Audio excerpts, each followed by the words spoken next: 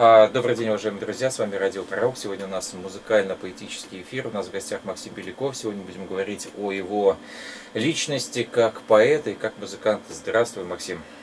Здравствуй, Павел, спасибо большое, что ты да меня нет для начала включи микрофон, а потом можешь общаться свободно, конечно. А, конечно, я же музыкант, я не знаю, как что включать, я умею только струны дергать. Здравствуйте, друзья, здравствуй, Павел.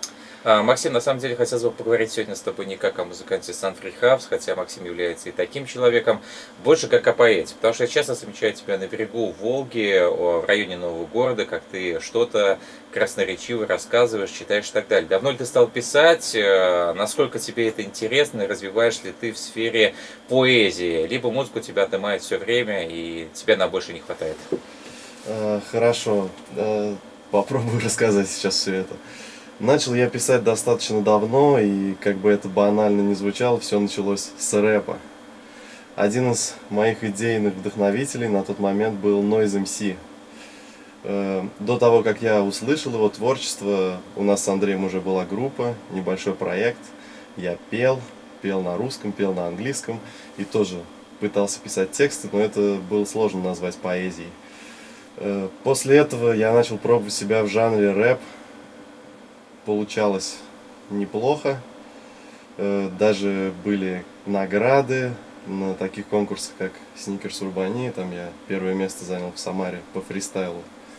То есть по сочинению рэпа, направленного против личности оппонента на ходу на заданную тему. Записывал также рэп-треки, э, но со временем начал видеть в них очень мало поэзии и вообще в рэпе, как в жанре, слегка разочаровался. А, Максим, такой вопрос, вот какие стихи вообще можно называть э, поэзией, а какие нет? Это, конечно, абсолютно субъективное мнение, но тем не менее. Например, кто-то говорил то, что а, Курт Кобейн а, был приближен все-таки к поэтическому жанру. А, например, я не знаю, там а, то же самый а, Горшок из группы Короля и Киш никогда не был поэтом. Есть такие мнения. Вот что называется реально поэзией? И как ты причисляешь, по каким канонам, правилам, причинам себя к поэтам? Это очень сложный вопрос, и я даже не знаю, причисляю ли я себя к поэтам вообще. Для меня поэт это, к примеру, тот человек, который видит на банальной табличке выход цифру 9. Вот, если хотите, можете попробовать ее там найти. Пушкин говорил, что поэт это человек, который может придумать рифму к слову голубь. Когда на мне проводили такой тест, у меня же сразу же в голове возникло слово прорубь, но это же не означает, что я поэт. Uh-huh. Вообще поэзия это э, попытка человека изобразить все, с чем он столкнулся в своей жизни с помощью символа. И символом этим не обязательно может являться слово. Я считаю, что в музыке, в изобразительном искусстве и вообще в самой жизни достаточно поэзии без слов. Максим, давай не будем уходить далеко от темы, вернемся конкретно к твоему творчеству. Можешь ли ты что-то продекламировать из своих закромов? Э, продекламировать. Может быть, что-то не очень большое, может быть, это будет хоку, или это какой-то небольшой поэтический отрывок из поэмы, или стихотворения. Нет, к, к сожалению, искусством хоку я не владею. Уважаемые друзья, Максим у нас сегодня не одинок, он пришел со своей подругой, с гитарой, которую только что взял со стола. Он у нас сегодня обязательно что-то споет, но пока Максим готовится восстанавливать свои поэтические силы, мы послушаем один из треков Sunfree Hubs, который уже был записан 52 года назад. Называется «Микроавтобус» или, проще говоря, «Газель». Вот, э, «Газель», боже мой, она все слетела, но мы к ней обязательно вернемся. Но ну, я могу для начала продекламировать стихотворение. Да, я дал время просто Максим хочешь. на самом деле подумать, он вспомнил. Пожалуйста, Максим. А, моя вечность – сплошные каникулы. Моя кровь на плаще Калигулы. Мои слезы мерзнут на севере и блестят в твоем веере перьями. Мои мускулы это воздвигли, и мой прах из сожженных библий, из утопий, грез и идиллий. Я шагаю к своей гильотине. Мои струпи тебя смущали, из пищали стрелял в печали. Голос мой, что звучал с трибуны, пулеметами испещряли, но моя рука выводила — все иероглифы в воздухе, руны, залетал с ароматом кадила в провонявшие сыростью трюмы, мои ноги в песке Атлантиды, сердце, суть, эпицентр взрыва, Моя кожа метровый слой пыли. Все еще источает флюиды. Мои фразы в черных смартфонах. Образ мой в квадратиках пленок Человечек на светофорах. Может быть, тоже чей-то ребенок Максим, как называется стихотворение? Это часть моей, так скажем, поэмы «Скафандр». А, очень интересно, на самом деле. Я на самом деле не ожидал. Я думал, ты более худший вариант поэта. Да, очень, очень интертекстуальный, что не фраза, то метафора. Максим, почему ты до сих пор не предлагаешь свои тексты группе Sun Hubs на русском языке? Потому что группа Sun Hubs имеет все-таки стилистическую и жанровую направленность, и мы поем на английском там. И, к сожалению, вот в рамках этого проекта не получается реализовать некоторые идеи, но я не расстраиваюсь. А, Максим, если говорить об этой поэме «Скафандр», чем она была смотивирована, почему именно она, что побуждает тебя продолжать ее писать, если ты не дописала, или что заставило тебя написать эту вещь? Я дописал, изначально мотивацией послужил символ э, того, что просто я задумался и подумал, что тело наше, по сути, как скафандр благодаря которому мы можем путешествовать в этой вселенной какое-то время. И уже дальше начал развивать все это. Максим, если говорить о русскоязычной поэзии в музыке, из тех групп, которые ныне еще существуют, живут или которые ушли, кого можно причислить к эшелону а, поэтов? Э... На твой взгляд, конечно. Ну, относительно рок-музыки сказать ничего особо не могу, относительно рэпа могу высказаться. Особо меня рэп не радует в последнее время, но порадовал альбом Лок Дога последний. И еще есть такой абстрактный очень исполнитель, как Джилия. У него тоже выходил альбом, по-моему, года полтора-два назад, тоже очень атмосферный, очень меня зацепил. У меня начинающие поэты спрашивают, что нужно делать, как а, поднять свой уровень, как вырабатывать красивые, яркие метафоры. Я всем а, всегда советую читать как можно больше хорошую лирику. Вот какую лирику ты читаешь помимо рэп-музыки? Это замечательный совет, я бы тоже посоветовал, если бы у меня такая возможность была. Э, я просто читаю все, иногда чаще, иногда реже. Читаю классику, читаю произведения современных писателей, именно прозу. Э, поэзию читать я люблю, конечно, но это требует больших душевных усилий и умственных, чтобы разбираться в ней и проникать в ее суть. Э, из поэтов для себя лично я выделяю Бродского. Не все, но я просто люблю красивую рифму, люблю сложность и люблю, когда все не слишком прозрачно. Уважаемые друзья, мы к Максиму обязательно вернемся. У нас на очереди Санфри Хабс под названием «Газель». А, поехали, слушаем. Ульяновские ребята делают интересную, качественную англоязычную музыку. Попасть бы. О,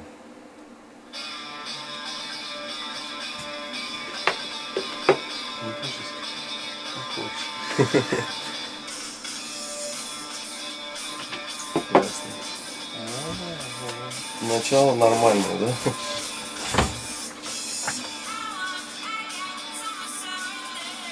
А сейчас можно шуметь? Да, конечно. Можно в телефон поговорить. Как мы тоже записываем. Да? Ну, не суть, да? Ну, на видео, да? И на видео, да, мы выкладываем все, что и в эфире, и вне эфира и так далее. Это замечательно. Посмотри потом на свое странное лицо в то время, как я пытался сформулировать умную мысль. Вот интересно, лицо у нас всегда соответствует нашим представлениям о лице. Э, я вот, например, сейчас себя вижу таким, ну, каким запомнил э, утром, а может быть, я на самом деле много на, другой. Нашим собственным представлением о лице, да? Ну, да. Мне кажется, оно никогда не соответствует. Это уже актерское мастерство какое-то, чтобы оно соответствовало представлению.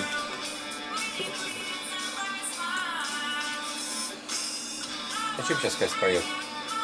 Я хочу, чтобы у меня был разноцветный автобус. А, все-таки о газельке? Да. О том, что она ловит солнце в море. И а, о том, что не нужно париться по конечно, помню, ты мне что-то присылал, а, либо в видео, либо в обычном формате. Что-то я прочитал, на самом деле, не очень сильно воодушевился. Но это было очень давно, где-то, наверное, год назад. Если ошибаюсь, это было как раз видео вот э, берега Волги. Ага. И сейчас что-то не ожидал, что появится такой скафандр. Ну да, но это... С идеями, утопиями, с Калигулой. Да, но Кстати, это... Калигула какой? Исторический идет или кинематографический? Ну, да исторический. Тут же как в контексте истории все происходит. А я даже не знаю, сложно говорить о своих, о своих стихах, потому что ты в них вкладываешь один смысл, а человек может увидеть абсолютно другой.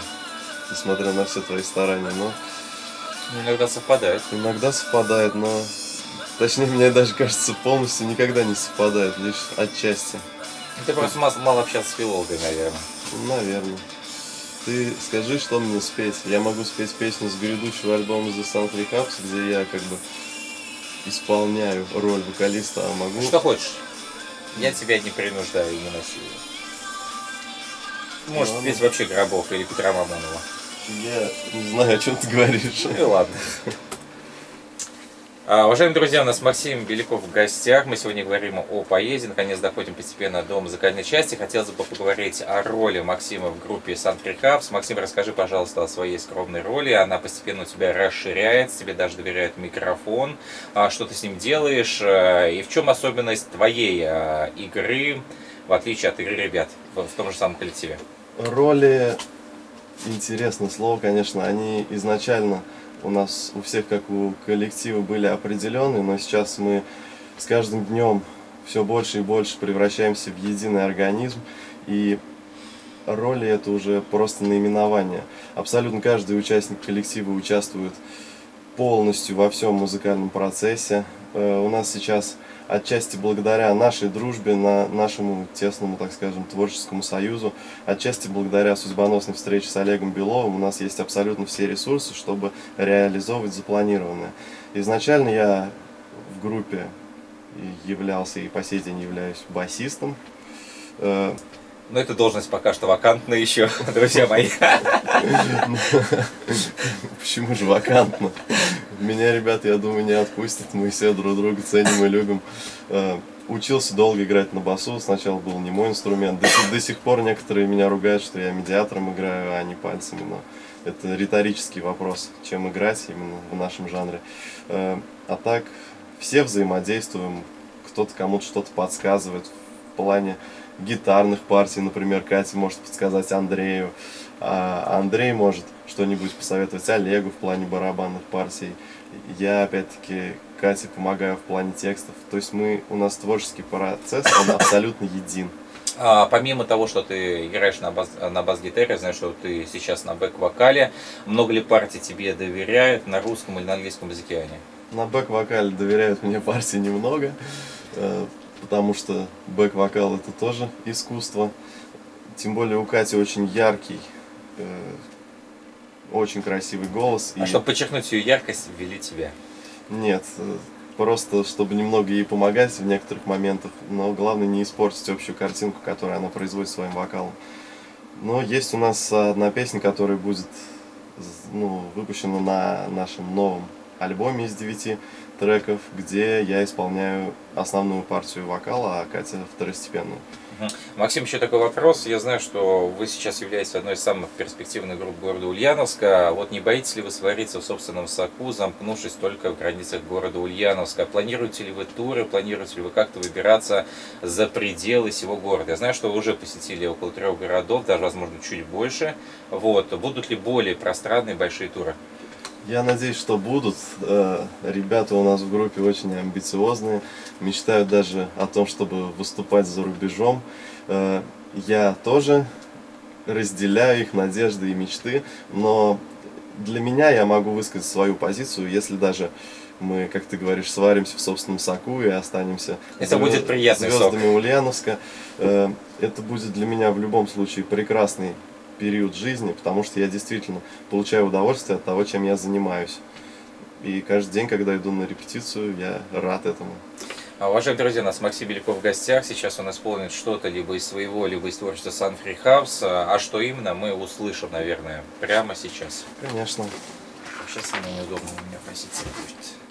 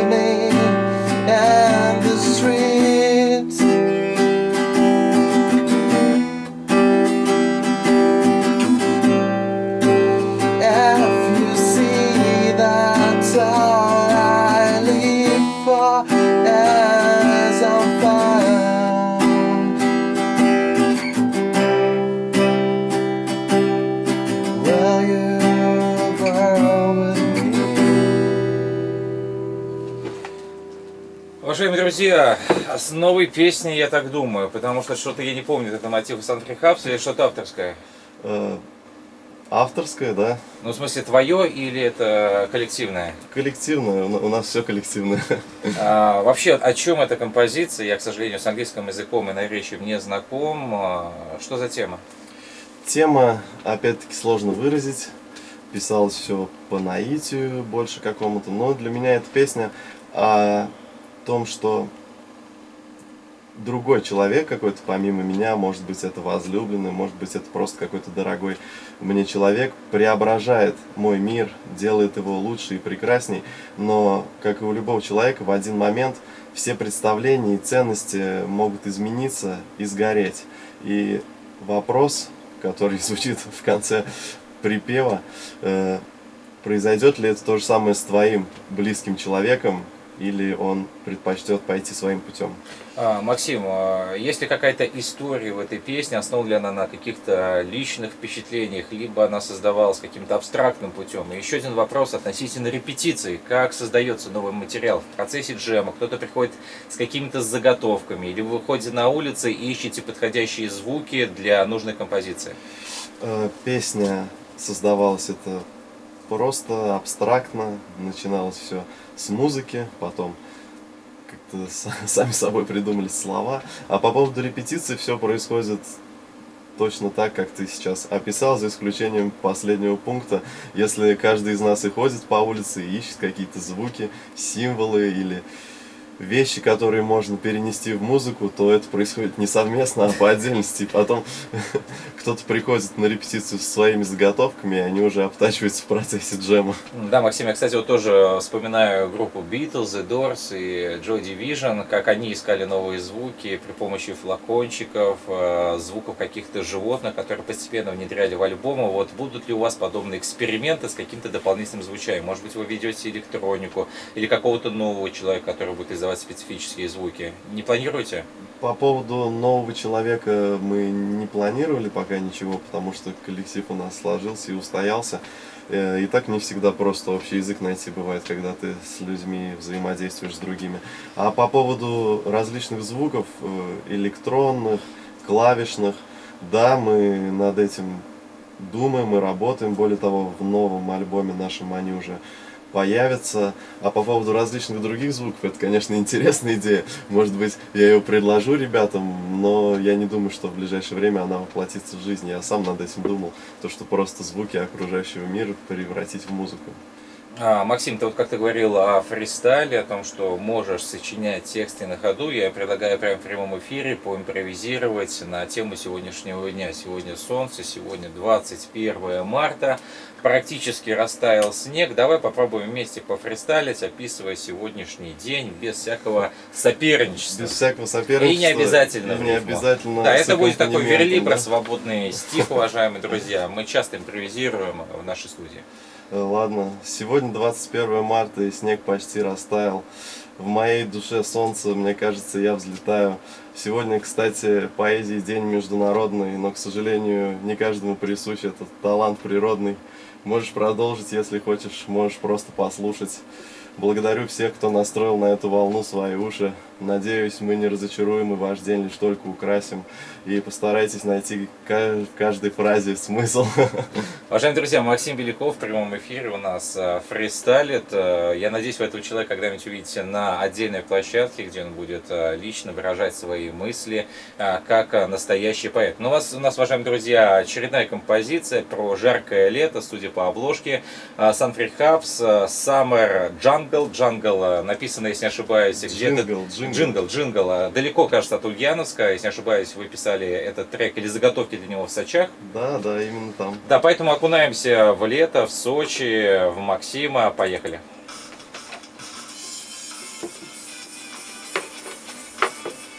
Упал бы, пока все нормально идет. Да, да, ты, Ты пока меня- не упал в меня- обморок. ты меня Я, разморозил. я даже на шатырь еще не достал из этой рисунки. Бывает при пригоди... бывает нужен, да, на шатырь? Ну да, выпить.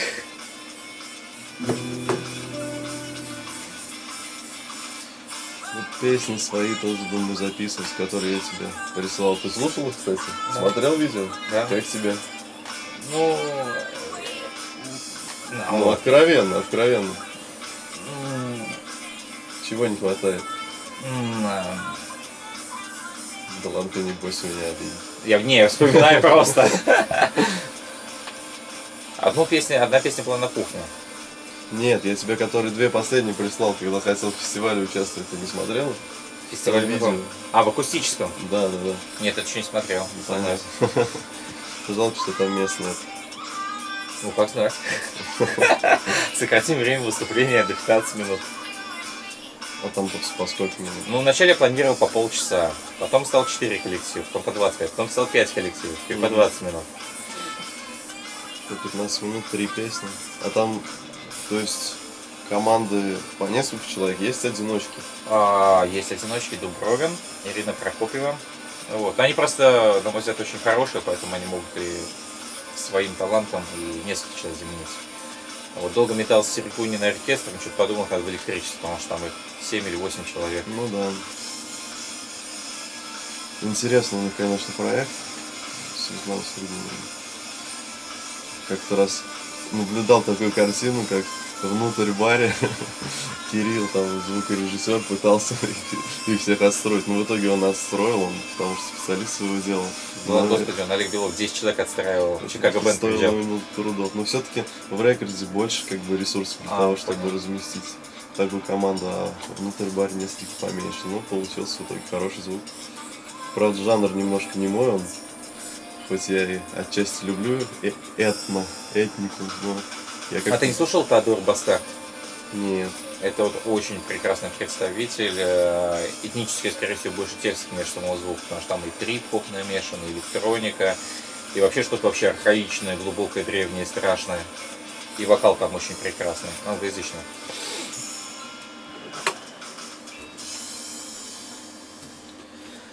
Уважаемые друзья, Сан Фри Хабс только что в прямом эфире. Summer Jungle Jingle, э, сочинский трек, уважаемые друзья. А, Максим, наверное, последний вопрос. У нас остается 5 минут до конца эфира. О планах, перспективах твоего личного развития и коллектива Сан Фри Хабс в целом, и тебя в этом коллективе в частности.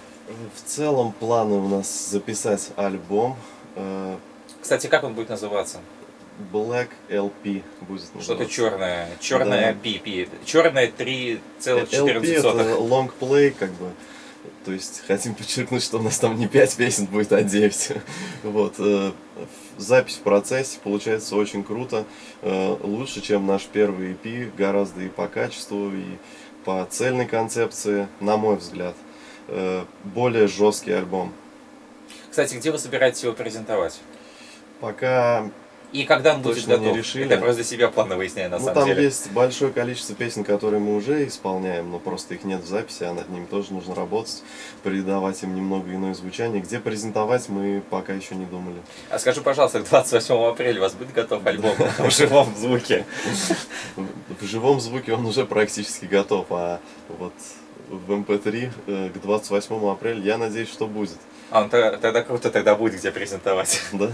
Да, Ну, и по отлично. поводу все-таки твоих личных планов, а, собираешь ли ты печататься, публиковаться, участвовать в каких-то конкурсах, познакомиться с Андреем Лысиковым или что-то в этом роде? Я бы с удовольствием поучаствовал и познакомился. По поводу публикации я в этом не разбираюсь, так что не знаю, но думаю, я все-таки большую часть своих стихов или поэзии, как это назвать, буду перекладывать на музыку, то есть делать песни непосредственно и записывать их или один, или с кем-то, может, ребята из The Sans Rehab захотят поучаствовать. Но в любом случае основная моя миссия и работа сейчас связана с The Sans Rehabs как раз непосредственно. И одно другому не мешает. У нас остается буквально 3 минуты до конца эфира. Не хотел бы ты что-то исполнить на гитаре или при помощи языка? Э, Можно и на гитаре, и при помощи языка. Дюплекс. Да. Секундочку. A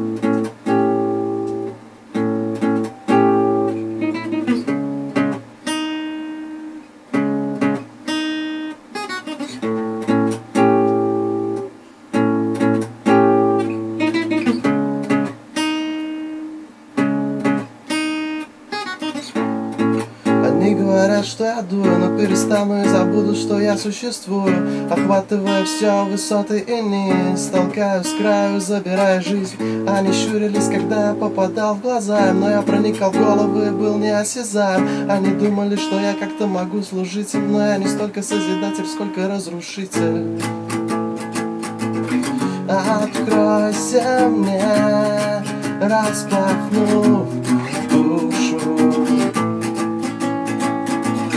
Откройся мне, расстегнув жизнь. Откройся мне, распахнув душу.